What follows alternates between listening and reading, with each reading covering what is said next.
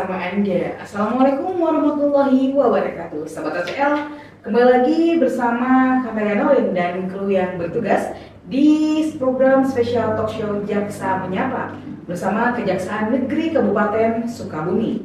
Dan hari ini telah hadir para narasumber di tengah-tengah kita, Sobat RCL.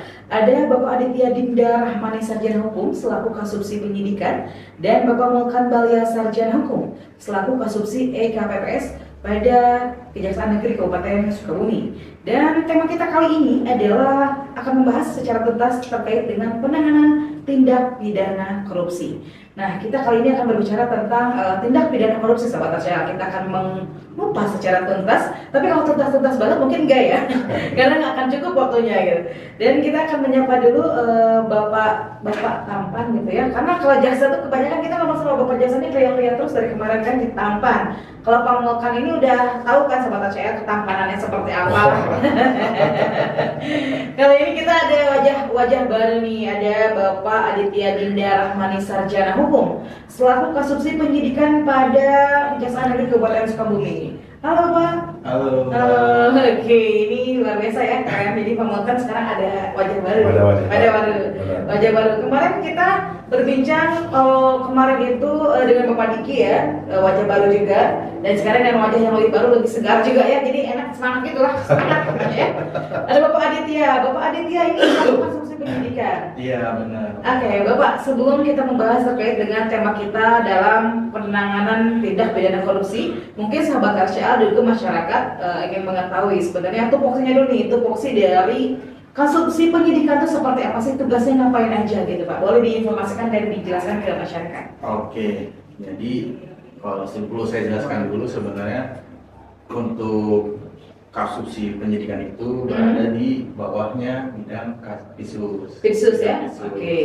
Yang me, kepalanya dan kaspisus. Hmm. Untuk bidang penyidikan sendiri itu uh, mempunyai tugas untuk melakukan penyiapan bahan penyusunan program dan rencana kerja, kemudian penyiapan bahan perumusan kebijakan teknis dan administrasi, penyiapan pelaksanaan dan pengendalian pemberian bimbingan teknis, mhm. penyampaian pertimbangan, pendapat dan saran, koordinasi dan kerjasama, pengolahan data dan penyajian informasi, pemantauan dan evaluasi serta penyusunan laporan dalam rangka pengelolaan dan pengaduan masyarakat, penyidikan dan penyelidikan dan penyidikan serta pelacakan aset dan pengelolaan barang bukti serta tindak pidana korupsi dan tindak pidana pencucian uang di wilayah hukum kejaksaan negeri. Oke, berarti kalau untuk kasus penyidikan ini adalah uh, apa namanya tempat yang paling krusial dalam besus ya. Jadi sebelum berkas-berkas itu mungkin uh, berkas-berkasnya itu di apa namanya di titik di penyidikan prosesnya. Oh suaranya katanya nggak kedengeran. Boleh dicek dulu oh, ada ada oh mungkin itu uh, di luar yang kedengeran ya. Ternyata ada saudara ada suaranya. Oke, okay.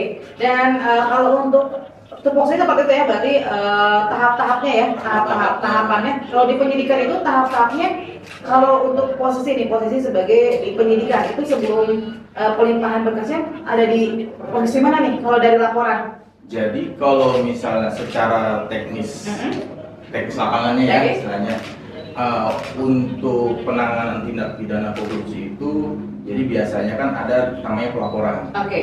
Dari pelaporan itu kita terima dulu pelaporannya mm -hmm. setelah disposisi oleh kepala kejaksaan.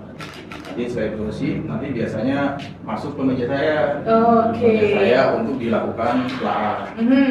Telaah setelah setelah telaah situ dibuat kemudian disetujui pula sama Kajari biasanya mm -hmm. kita secara beruntut kita melakukan penyelidikan dulu, mm -hmm. kemudian apabila dalam penyelidikan itu ditemukan adanya tindak pidana, uh, kemudian dilanjutkan ke penyidikan. Mm -hmm. Mungkin uh, kawan-kawan di luar sana masih bingung nih. Iya betul. Penyidikan itu apa? Betul. Penyidikan itu apa? Uh, mungkin secara garis besar -hmm. penyelidikan itu adalah mencari ada tidak sih suatu tindak pidana dalam -hmm. suatu peristiwa di situ. Kemudian setelah penyidikan itu dilakukan dan ternyata ditemukan suatu tindak pidana, maka ini dilanjutkan ke penyidikan. Hmm.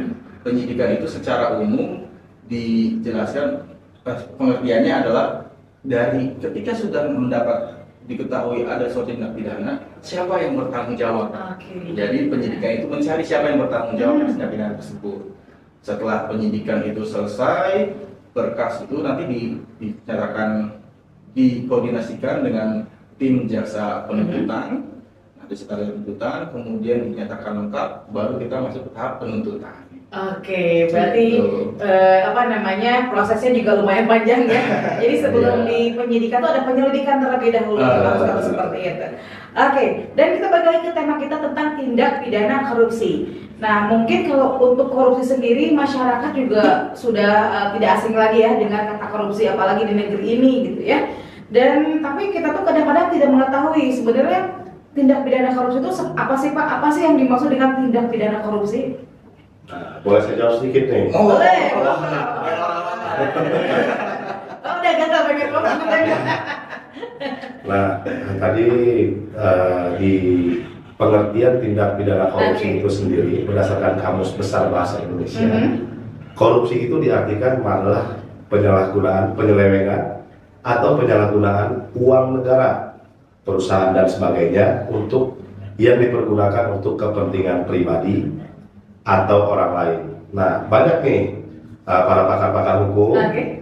uh, yang memiliki mem- berpendapat Mhm. bahwasanya uh, yang mengartikan korupsi itu sebagai suatu tindak pidana yang berhubungan dengan penyuapan, manipulasi dan perbuatan lainnya sebagai perbuatan melawan hukum yang akibatnya merugikan keuangan dan perekonomian negara serta merugikan kesejahteraan dan kepentingan umum. Oke, Pak Adit Oke. ingin menambahkan? Kalau ya, Menurut menurut Garis KBBI, Besar Bahasa Garis Besar Bahasa Indonesia. Ya. Oke, boleh Pak Adit ditambahkan. Kalau saya mungkin menambahkannya dikit aja Hmm. karena ini kan uh, berhubungan tadi setelah apa seperti yang dijelaskan oleh Pak Mulkan uh, berhubungan dengan kerugian negara. Oke. Kerugian negara. Jadi uh, secara garis besar apa namanya?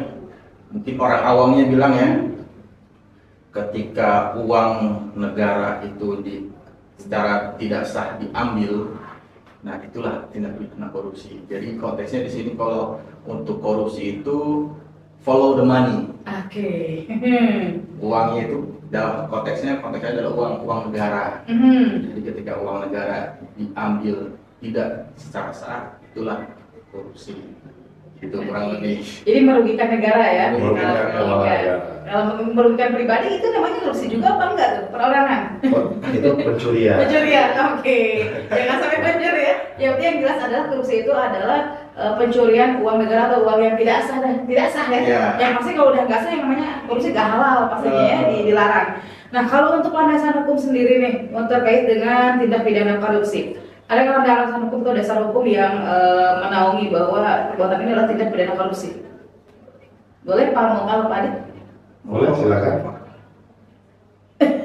Oh, oh, ya. eh, kalau landasan hukum tindak pidana korupsi itu sendiri untuk di Indonesia itu diatur di dalam Undang-Undang Nomor 31 Tahun 99 Mhm. sebagaimana yang sekarang itu sudah diperbaharui menjadi Undang-Undang Nomor 20 Tahun 2021. 2001. Mhm. Nah, untuk eh, apa namanya undang-undang lainnya terkait dengan eh, korupsi ini, saya rasa baru diatur di dalam eh, Undang-Undang Nomor 3 itu sendiri, Undang-Undang Nomor 31 Tahun 99, Junto Undang-Undang Nomor 20 Tahun 2001 tentang korupsi. korupsi. Mungkin Pak Adit lebih mengetahui nih karena di bidang eh, Pak tindak Pak Adit akhirnya khusus. Pak Adit mengetahui karena udah tahu gitu korupsi. Apa udah? korupsi? Ya, kalau untuk apa, pemidanaannya Oke. mungkin di undang-undang yang sebagaimana disebutkan oleh Pak Mukan, Mhm. tapi kan kita tidak bisa tidak hanya undang-undang itu saja. Mhm. Misalnya dalam konteksnya pengadaan barang dan jasa, Oke. itu kan otomatis kita harus menyambungkan ke pengadaan barang dan jasa juga. Kemudian tentang misalnya BUMN atau. BUMD masih tersangkut juga undang-undang PT termasuk juga. Oh, berarti tergantung, dari pra, apa eh, kasus-kasus seperti Kasus apa ya? Jadi kalau misalnya dibilang undang-undang apa saja, saya pun bingung karena banyak sekali. Banyak. Oh, banyak ya. Banyak sekali. Berarti beda kasus itu undang-undang atau dasar hukumnya yang mengaturnya tuh beda juga. Beda, Oke. tetapi pemidanaannya Ah, diatur di betul. undang-undang tidak korupsi itu sendiri. Oke, oke, oke. Berarti memang ini eh, janganlah, jangan korupsi intinya ya, karena banyak juga ya ternyata mau korupsi sekecil apa pun gitu ya. Dan kalau untuk tugas wewenang serta kewajiban dari kejaksaan sendiri nih Pak dalam penanganan tindak pidana korupsi itu seperti apa? Jadi sebenarnya perlu diketahui ya mungkin masyarakat bertanya-tanya juga, Mhm. kok ini tindak pidana korupsi ada yang ditangani kejaksaan, ada yang ditangani oleh kepolisian, ada yang ditangani oleh KPK. Mungkin eh, secara umum sebenarnya yang punya punya wewenang untuk melakukan penyidikan di kasus tindak pidana korupsi itu ada tiga instansi. Oke. Nah, tiga instansi yaitu eh, kejaksaan, Mhm. kemudian kepolisian, ada KPK. Nah, tiga itu sendiri kalau misalnya melakukan penyidikan, penyelidikan dan penyelidikan tindak korupsi diperbolehkan. Oke. Jadi kalau untuk kalau untuk pertanyaannya kan kemudian wewenang kejaksaan di mana? Nah, wewenang Hmm. kejaksaan itu khusus untuk kejaksaan dia mempunyai kewenangan untuk melakukan penyidikan Mhm. penyidikan kemudian karena ke- kemudian juga apa bisa melakukan penuntutan dan juga bisa melakukan eksekusi mungkin bisa bertanya-tanya kok kok super power sekali betul. kejaksaan Kejaksaan kenapa sih gitu ya? Power banget gitu kejaksaan. iya karena ini mbak dilihat dari mungkin dasar kita mungkin mbak sering dengar Oke. ah, jaksa sebagai dominus litis Mhm, mhm. dominus litis itu istilahnya kata lainnya Iya, betul. ya yang meng- mengendalikan perkara ketika eh, kita merasa jaksa merasa ini ada suatu tindak pidana khususnya tindak pidana korupsi jaksa dengan wewenang yang dia punya dia mempunyai hak mempunyai wewenang untuk melakukan penyidikan Mhm. penyidikan dan penyelidikan itu mungkin bi- perlu diketahui ya kok jaksa yang menyidik jaksa yang menuntut Mhm. ini se- secara aturan memang seperti itu tetapi timnya berbeda Oke. jadi nggak ada akan lu yang nyidik lu yang nuntut lu yang Ah, ini yang oke. itu secara ini secara administrasi beda orang yang misalnya saya menyidik nah Hmm. yang menuntut pamulkan pamulkan jadi pamulkan yang istilahnya bertindak sebagai jaksa Mhm. penuntut umum penuntut umumnya saya menyidiknya jadi apabila saya salah Oke. dalam penyidikan atau mungkin secara administrasi dan lainnya Hmm. saya salah pamulkan sebagai dominus litis Hmm. di penyidik di penuntutan berhak untuk menegur saya Oke. gitu secara ini seperti itu kurang lebih Oke, memang berarti memang ada eh, wewenangnya sendiri ya, Hmm. Dari penyidikan terus nanti juga ada JPU-nya juga gitu ya. Ya. Oke, berarti paket lengkap apalagi untuk Paket kasus lengkap. untuk kasus korupsi Untuk gitu. kasus Oke. korupsi. Betul. Karena kasus korupsi ini memang eh, apa namanya di eh, negeri kita gitu ya, itu mungkin sudah bukan lumrah sih, ya. sebenarnya nggak boleh sih ya, nggak boleh itu sebenarnya nggak boleh. Tapi memang ini udah menjadi eh, suatu apa ya, suatu eh, perbuatan yang memang kok eh, sering banget dilaksanakan, eh dilaksanakan dilakuin, udah tahu itu perbuatan yang tidak boleh gitu, tidak benar. Nah, nanti kita akan bahas eh, terkait dengan unsur-unsur ataupun juga betul-betul tindak pidana seperti apa. Tetap di RCL kami ada bersama Anda.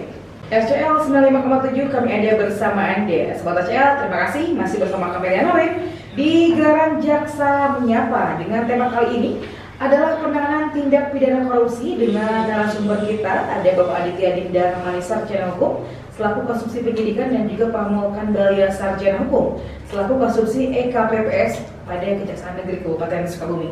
Nah kita akan melanjutkan bincang-bincang kita terkait dengan tindak pidana korupsi. Jika tadi eh, Bapak Adit dan juga Pamulkan menjelaskan terkait dengan apa itu korupsi, dasar hukumnya seperti apa, tugas dan wewenang kejaksaan itu seperti seperti apa. Nah mungkin di korupsi sendiri kan ada unsur-unsurnya ya Pak ya. Dan eh, unsur apa saja sih Pak yang termasuk dalam tindak pidana korupsi itu? Boleh Pak Amongkan silakan. Baik, terima kasih Ibu Norin. Nah, mungkin terkait unsur apa saja yang termasuk dalam tindak pidana korupsi ini, yang paling utama itu adalah merugikan keuangan negara. Oke. Nah, pengertian murni merugikan Hmm. keuangan negara adalah suatu perbuatan yang dilakukan oleh orang, baik itu pegawai negeri sipil dan penyelenggara negara yang melawan hukum, menyalahgunakan kewenangan, kesempatan ataupun sarana yang ada padanya karena jabatan atau kedudukan dengan melakukan tindak pidana korupsi. Nah, eh, jenis korupsi yang terkait dengan kerugian keuangan negara ini itu di dalam Undang-Undang Nomor 31 tahun 2000 tahun 1999 itu diatur di dalam pasal 2 dan pasal 3 yang unsur-unsurnya antara lain yaitu setiap orang yang memperkaya diri sendiri atau orang lain atau suatu korporasi yang dilakukan dengan cara melawan hukum merugikan keuangan negara atau perekonomian negara. Nah, di dalam pasal 3-nya itu berbeda nih unsurnya. Hmm. Setiap orang dengan tujuan kalau yang tadi itu adalah memperkaya diri sendiri, Oke. sementara di pasal 3 itu adalah menguntungkan diri sendiri atau orang lain atau suatu korporasi Hmm. dengan menyalahgunakan kewenangan, kesempatan atau sarana yang ada padanya karena jabatan atau kedudukannya yang merugikan keuangan negara atau perekonomian negara. Jadi ada Perbedaan. ada perbedaan. Begitu Pak Adi? Benar Bang. Oke, berarti memang eh, intinya adalah bahwa unsur-unsur yang terkait itu ada yang namanya merugi apa tadi Memperkaya. diri sendiri dan juga tadi eh, Menguntungkan. menguntungkan, memperkaya dan menguntungkan. Tapi dua-duanya juga unsur-unsur yang memang tidak boleh dilakukan ya, Iya. tidak boleh dilakukan ketika ada dua hal tersebut yang merugikan negara itu udah udah termasuk korupsi. Meskipun hal terkecil ya korupsi itu bukan bukan hal-hal yang selalu bentuknya besar aja kan? Benar. Nah, kalau untuk bentuk pidana pindah korupsi itu seperti apa aja kan? Kayak misalnya korupsi itu yang namanya tadi kan korupsi dijelaskan bahwa korupsi adalah merugikan negara. Nah, merugikan negara itu contohnya seperti apa? Apakah memang em, menguras uang negara eh, secara besar-besaran Hmm. ataupun dengan hal yang terkecil pun yang ketika memang itu bukan haknya itu masuk korupsi juga itu seperti apa Pak? Boleh silakan. Nah, Boleh? boleh sedikit saya tambahkan Boleh. sedikit Pak Adi. Mungkin bentuk-bentuk tindak pidana korupsi itu eh, sejauh pemahaman saya itu ada seperti suap menyuap. Hmm. Nah, suap menyuap itu merupakan tindakan yang dilakukan pengguna jasa secara aktif memberi atau menjanjikan sesuatu kepada pegawai negeri atau penyelenggara negara dengan maksud agar urusannya bisa lebih cepat walau melanggar prosedur. Nah, suap menyuap ini terjadi jika terjadi transaksi atau kesepakatan antara kedua belah pihak. Jadi suap menyuap itu dapat terjadi kepada PNS dari kami sendiri di kejaksaan, baik itu hakim, advokat yang dapat dilakukan antar pegawai atau ataupun pegawai dengan pihak luar. Jadi suap menyuap itu uh, mungkin uh, teman-teman pasti bertanya suap menyuap itu kan tidak merugikan keuangan Betul. negara. Nah, tetapi kan di situ ada penyalahgunaan penyalahgunaan kewenangan sarana yang ada pada kita untuk memperlancar urusan itu tanpa mematuhi prosedur yang ada. Kemudian selain suap menyuap, korupsi itu juga eh, ada yang dimaksud dengan penggelapan dalam jabatan. Contoh saya sebagai jaksa nih, Hmm. saya punya kewenangan. Nah, kewenangan saya itu saya peruntukkan untuk tidak sebagaimana mestinya dan itu juga termasuk dalam kategori perbuatan korupsi. Nah, kemudian selain penggelapan dan jabatan juga ada pemerasan. Hmm. Nah, pemerasan ini itu sebagai contohnya di mana petugas layanan yang secara aktif menawarkan jasa atau meminta imbalan kepada pengguna jasa untuk mempercepat layanannya. Nah, itu sama seperti suap menyuap tadi, tapi ini kategorinya pemerasan. Jadi dia eh, sebagai penyelenggara negara eh, meminta imbalan agar urusannya dipercepat bisa lebih cepat. diperlicin gitu ya Diperlicin. Apa? ayo apa beresin apa gitu ya Nah, selain itu juga ada gratifikasi. Hmm. Gratifikasi ini diatur dalam pasal 128 sat- pasal 12B ayat 1 Undang-Undang Nomor 20 tahun 2001. Nah, Setiap gratifikasi kepada pegawai negeri atau penyelenggara negara dianggap merupakan pemberian suap apabila berhubungan dengan jabatannya dan yang berlawanan dengan kewajiban atau tugasnya. Dengan ada ketentuannya, dengan ketentuan yang nilainya 10 juta atau lebih.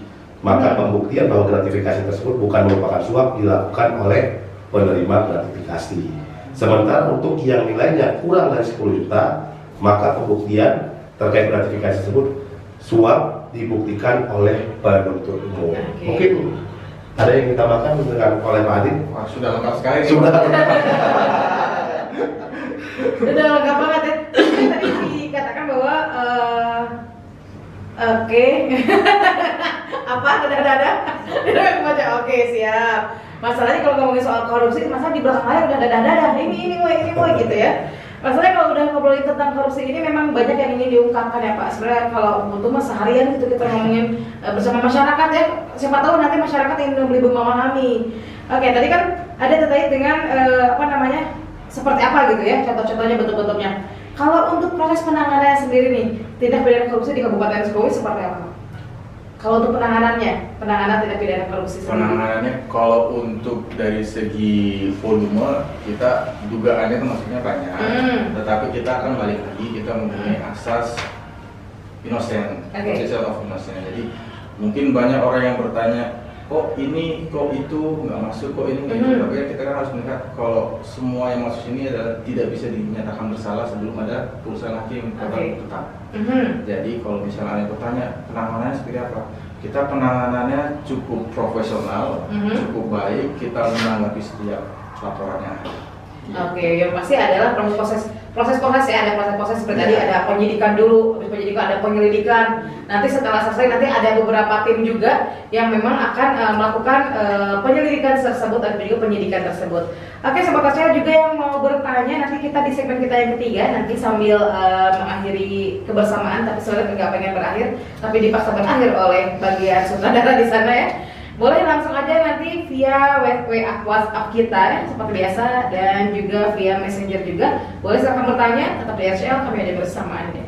RCL 95,7 kami ada bersama Anda. Sobat RCL, terima kasih masih bersama kami di program spesial Jaksa Menyapa bersama Kejaksaan Negeri Kabupaten Sukabumi. Sahabat RCL, dan kita masuk ke segmen kita yang terakhir, tapi sebelum kita mengakhiri kebersamaan sebenarnya pengen gak berakhir karena betah gitu ya tapi waktunya yang memisahkan kita. Ada nanti kita ketemu lagi pastinya. Tapi sebelum itu kita akan coba menampung beberapa pertanyaan yang sudah masuk dan terima kasih untuk anda sahabat HL yang setia mendengarkan Jaksa Menyapa di edisi kali ini. Ada beberapa pertanyaan izin Pak Jaksa dan ini adalah beberapa pertanyaan yang mungkin saja mewakili pertanyaan-pertanyaan dari sahabat HL yang lain. Yang pertama ini ada dari sebut saja Mawar di Citamiang. Hai Mawar. Mau tanya kalau kasus kalau kasus korupsi Bawaslu bagaimana kelanjutannya? Nah itu yang pertama ya. Mau jawab apa ditampung dulu? Ditampung dulu, ditampung dulu. Oke, jadi Mawar ini pemerhati kayaknya Bawaslu gitu. Saya aja baru tahu ini ya. Oke, yang kedua ada Roni di Geger Bitung. Ingin bertanya, Pak Jaksa, bagaimana nih caranya melaporkan atasan yang terindikasi ada tindakan korupsi? Ingin melaporkan tapi tidak ingin data pelapor diketahui siapa pun. Bagaimana caranya? Itu yang kedua. Yang ketiga, Pak Jaksa, ini nggak ada namanya ya. Pak Jaksa, kalau yang korupsinya pejabat, apakah masyarakat boleh tahu proses penyelidikannya? Karena saya rasa kasus korupsi di Indonesia tidak ada transparansi yang baik dari pihak aparat. Nah, oh ini, wow, ini kayaknya banyak ya, cuma kita saring aja. kalau misalnya lebih lanjut, langsung aja datang ke kejaksaan, ketemu para jaksanya langsung tanya. Kayak kita nih langsung bertanya. Oleh izin, silakan dijawab beberapa pertanyaan dari masyarakat, mungkin mewakili dari pertanyaan-pertanyaan yang lain juga. Baik, tadi pertanyaan pertama terkait apa ya Bu Norin ya? Terkait Bawaslu ya? Terkait Bawaslu. Ap- Apa tadi pertanyaannya? Dari Mawar ya? Dari Mawar, sebut saja Mawar. Dari Mawar, katanya menanyakan kelanjutan kasus kelanjutan kasus Bawaslu seperti apa? Kelanjutan. Bagaimana kelanjutannya? Mawar di Citamiang. Oh, baik, baik. Se- kami di Kejaksaan dari Kabupaten Sukabumi sebelumnya tidak pernah mendapatkan laporan Hmm. terkait adanya dugaan tindak pidana korupsi yang dilakukan oleh Bawaslu. Nah ini perlu kita pertanyakan lagi nih, karena Bawaslu itu ada di setiap kabupaten kota. Oke, Bawaslu mana gitu Bawaslu ya? mana ini? Apakah, Bawaslu pusat, apakah Bawaslu Kabupaten Sukabumi, atau Bawaslu Kota Sukabumi? Hmm. Karena Citamiang itu kan masuk ke ranahnya Kota Kota Sukabumi. Jadi karena mungkin ranahnya bukan di uh, Kejaksaan dari Kabupaten Sukabumi, untuk wilayah hukumnya mungkin uh, kami tidak bisa menjawab karena untuk yang saat ini untuk laporan terkait adanya dugaan tindak pidana yang dilakukan oleh Bawaslu Kejaksaan dari Kabupaten Sukabumi uh, belum pernah mendapatkan laporan. Oke. Jadi kita belum bisa menjawab. Oke. Jadi Mawar mungkin Jangan uh, kecewa, Mawar. Jangan kecewa Mawar. Jangan kecewa bahwa karena memang ini pertanyaannya eh, belum eh, detail ya, Belum terlalu detail. Eh, jadi bawaslunya itu di bawaslu mana Bawaslu nih? Oke. Kabupaten ataupun Hmm. kota. Tahu itu bawaslu eh, negara lain kan, apa kabupaten atau kota lain kan? Iya. nggak tahu. Mungkin eh, Mbak Mawar nanti ditanya lagi aja langsung di Japri ya ke eh, IG-nya kejaksaan ada kok. boleh boleh ya. Untuk Bang Mawar mudah-mudahan tidak tidak kecewa karena mungkin eh, ranahnya ranahnya belum tahu ya Pak ya karena di Kabupaten Sukabumi belum ada laporan gitu ya Belum ada laporan terkait dari dugaan tindak pidana. Oke, terima kasih. Dan untuk pertanyaan yang kedua boleh dijawab. Ya, Kalau jadi yang kedua apa mbak? Coba saya ulang lagi ya pertanyaan kedua ini karena ada suka lupa ini. Ya, sekali lupa ya, sekali lupa ya. Ada Roni di Geger Bitung. Ingin bertanya Pak Jaksa bagaimana eh, cara melaporkan atasan yang terindikasi ada tindakan korupsi tapi ingin melaporkan tapi tidak ingin data pelapor diketahui siapa pun gimana caranya? Oh pengen melaporkan atasan nih, Hmm. tapi datanya tuh tidak ingin diketahui siapa pun bagaimana caranya seperti itu. Kalau untuk mungkin secara umum kita pun selama ini tidak Hmm. pernah membeberkan data pelapor Eh, gitu. dirahasiakan Selalu ya. dirahasiakan. Oke. Kita pakai sistem whistleblower kita akan Hmm. Melindungi data data pelapor ini agar tidak tidak tersebar. Oke. Kayak Kalau misalnya ada ketakutan nih kesebar ini gimana gimana, karena kalau misalnya kesebar pasti bukan kita, Oke. karena kita sangat melindungi data tersebut. Mhm. Jadi istilahnya kalau misalnya tanya bagaimana caranya, bikin saja pelaporan. Mhm. Tidak, kita terbuka pelaporan apa pun kita terbuka. Memang ada indikasi mungkin ada suatu petunjuk kecil atau mungkin suatu bukti kecil mengenai adanya dugaan tindak pidana korupsi. Monggo silahkan uh, dibuatkan pelaporannya ke kejaksaan. Kalau misalnya memang secara tertulis ba- bagus, secara lisan pun nggak jadi masalah. Mhm. Nanti buatkan secara tertulisnya, kita terima di sini, kita lindungi data-data pelapor tersebut. Jadi jangan khawatir. Jangan masalah khawatir itu. ya. Jangan khawatir. Jadi buat penanya tadi itu ide- kerahasiaan identitas pelapor di kejaksaan itu sangat terjamin. Oke, terjamin ya, berarti memang Jadi silakan. perlu takut untuk melaporkan adanya dugaan tindak pidana korupsi ke kejaksaan. Oke, itu mudah-mudahan pertanyaannya juga ya kalau misalnya ada indikasinya langsung laporin aja tentu dengan bukti-bukti ya. Dan yang terakhir tadi adalah satu pertanyaan terakhir ini dari tidak ada namanya. Pak Jaksa kalau yang korupsinya pejabat, apakah masyarakat boleh tahu proses penyelidikannya? Karena saya rasa kasus korupsi di Indonesia ini tidak ada transparansi yang baik dari pihak aparat.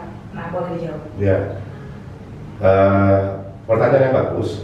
Tetapi bagi penanya tadi itu sepertinya eh, kurang update terkait dengan eh, penanganan perkara Hmm. tindak pidana korupsi di Indonesia. Saya rasa untuk penanganan perkara tindak pidana korupsi yang dilakukan di Indonesia pada saat ini itu sudah sangat baik, Oke. sudah sangat terbuka karena kita sudah bisa melihat langsung uh, seperti uh, penanganan perkara tindak pidana korupsi yang dilakukan oleh uh, tim Pitsus Kejaksaan Agung Republik Indonesia dalam melakukan uh, baik itu penetapan tersangka, penahanan, kemudian proses penyidikan, penuntutan. Saat ini sudah dapat diakses melalui uh, seluruh media. Nah, jadi kalau misalnya katanya uh, adanya pejabat yang korupsi kemudian ditutup ditutup tutupi ininya itu tidak benar. Oke, berarti memang yang harus lebih detail ya. Harus untuk lebih. mencari informasi eh, pemberitaannya. Oke, sobat SCL, sebelum kita mengakhiri, adakah himbauan ataupun juga closing statement Pak? Silakan dari Pak Adit juga eh, himbauan dan juga pesan pada masyarakat Kabupaten Sukabumi terkait dengan tema kita kali ini. Boleh silakan Pak Adit. Kalau saya mungkin secara umum saja ya, Mhm. eh, kenali hukum dan jauhi hukuman. Oke, kayaknya itu ngomongkan nih, ngomongkan cari kata-kata yang lain, ngomongkan ayo. Mau mikir, nih, kata-kata ngomongkan nih, mikir dulu nih. Kalau closing statementnya karena tadi kenali hukum dan jauhi hukuman Oke. itu sudah diambil oleh Pak Adit, mungkin saya agak sedikit ke eh, ini terkait dengan penanganan korupsi tadi ini ya, Eh, karena sedikit banyaknya merupakan korupsi, jadi eh, jauhi korupsi. Oke, luar biasa bincang kita kali ini Sobat Rojael. Terima kasih kebersamaannya dan terima kasih juga untuk para narasumber. Terima kasih Bapak Aditya Dinda Ramani Sarjana Hukum selaku Kasubsi Penyidikan dan juga Bapak Mulya Balina Sarjana Hukum selaku Kasubsi EKPPS pada Kejaksaan Negeri Kabupaten Sukabumi dan mudah-mudahan juga yang diberikan hari ini bisa memberikan pencerahan sedikit tidaknya ya untuk masyarakat Kabupaten Sukabumi dan juga kita akan ketemu di season selanjutnya di spesial program Jaksa Menyapa bersama Kejaksaan Negeri Kabupaten Sukabumi. Akhirnya waktu kamera Noren dan kru yang bertugas mengucapkan terima kasih. Assalamualaikum warahmatullahi wabarakatuh.